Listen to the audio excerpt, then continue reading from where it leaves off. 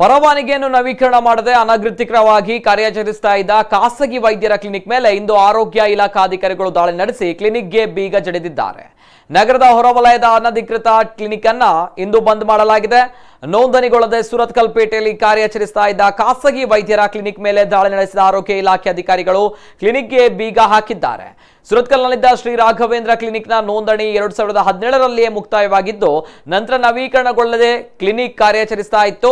ಜಿಲ್ಲಾ ಆರೋಗ್ಯ ಮತ್ತು ಕುಟುಂಬ ಕಲ್ಯಾಣಾಧಿಕಾರಿ ಅವರ ನಿರ್ದೇಶನದ ಮೇರೆಗೆ ಇಲಾಖೆಯ ಅಧಿಕಾರಿ ಡಾಕ್ಟರ್ ಸಿಕಂದರ್ ಪಾಷಾ ಅವರು ಕ್ಲಿನಿಕ್ಗೆ ದಾಳಿ ಮಾಡಿ ಕ್ಲಿನಿಕ್ ಅನ್ನ ಮುಂದಿನ ಆದೇಶದವರೆಗೆ ಮುಚ್ಚಿದ್ದಾರೆ.